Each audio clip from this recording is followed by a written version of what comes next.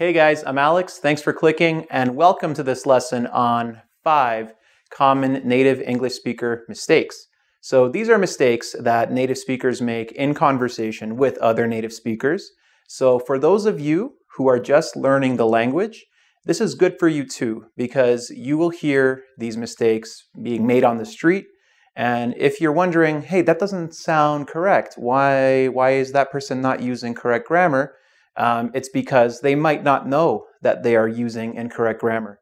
Uh, those of you who are English speakers, well, this is the stuff that drives English teachers absolutely crazy. So let's begin with number one double negatives. Okay, so what's a double negative? There are three examples on the board.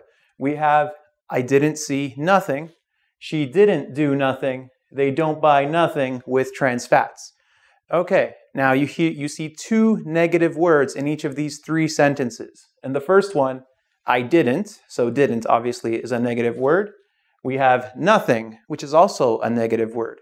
So if you say, I didn't see nothing, you actually mean that you saw something.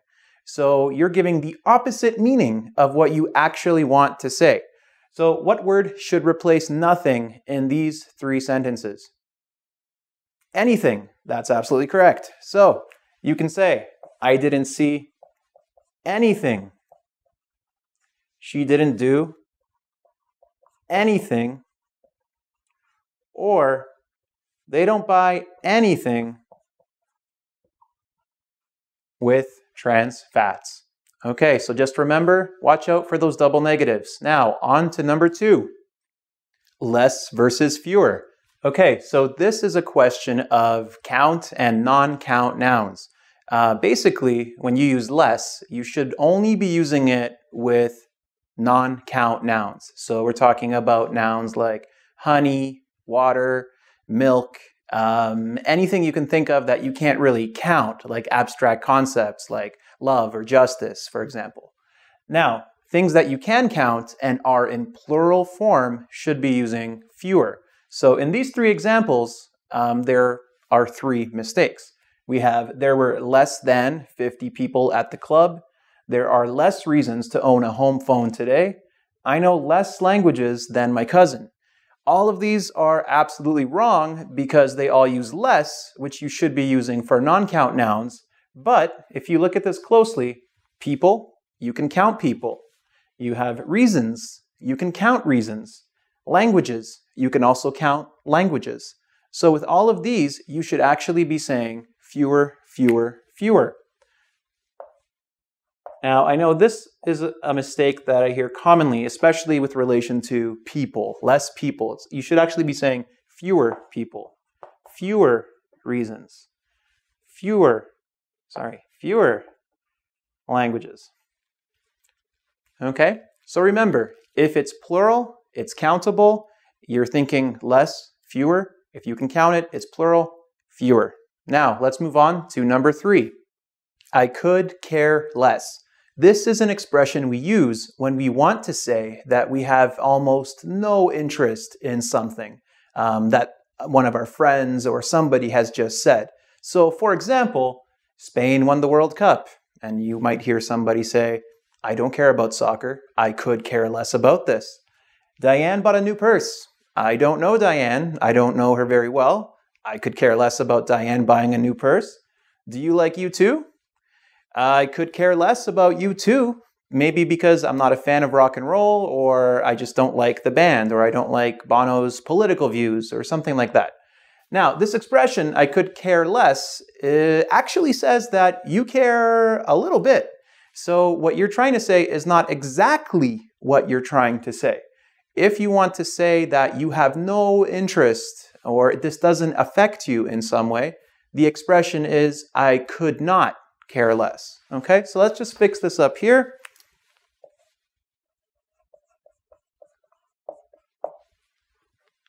And say, I couldn't care less. This means your interest is so low that there's nowhere for you to go. If you say, I could care less, maybe you care this much and you could still care a little more, or sorry, care a little less.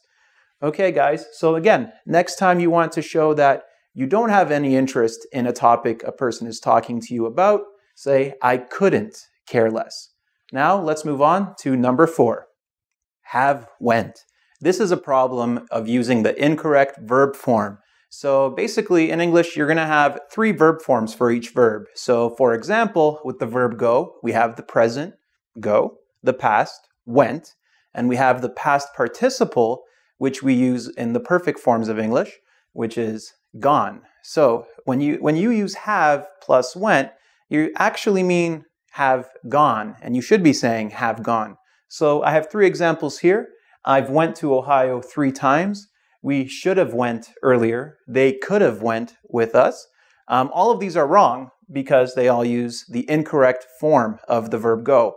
So instead of saying I've went to Ohio three times, we should be saying I have gone to Ohio three times. We should have went earlier. We should have gone earlier. They could have went with us. They could have gone with us. So basically, anytime you have have plus the verb go in like the past form, so could have, should have, might have, would have, or just simply have, please use the correct form of the verb, which is gone. Now, let's move on to the final mistake, number five. Is are and was were. Now, this is a mistake between thinking there's one of something versus many of something. So, for example, normally we use is with the subject he, she, right? He is, she is, or it is. Um, and we use are with which subject? Well, we can say you are or they are, right? For the plural they. However, many English speakers make the mistake of using is when they should be using are like in the three examples I have here. So we have there is two cars in the driveway, there was three mice in the kitchen, and there wasn't enough students to run the program. Now, all these three examples have plurals. So we have two cars, we have three mice, we have students. These all mean plural.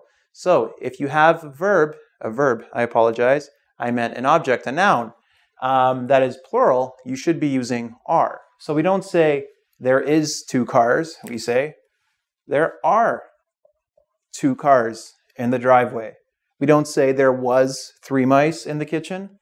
There were three mice in the kitchen. We don't say there wasn't enough students. We say there weren't enough students to run the program. Okay, guys, so just as a reminder, please, please try and avoid these mistakes. We have double negatives, less and fewer, could care less, have went, and up here is, are, was, were. If you'd like to test your understanding of this knowledge, you can check out the quiz on engvid.com. Good luck, guys, and take care.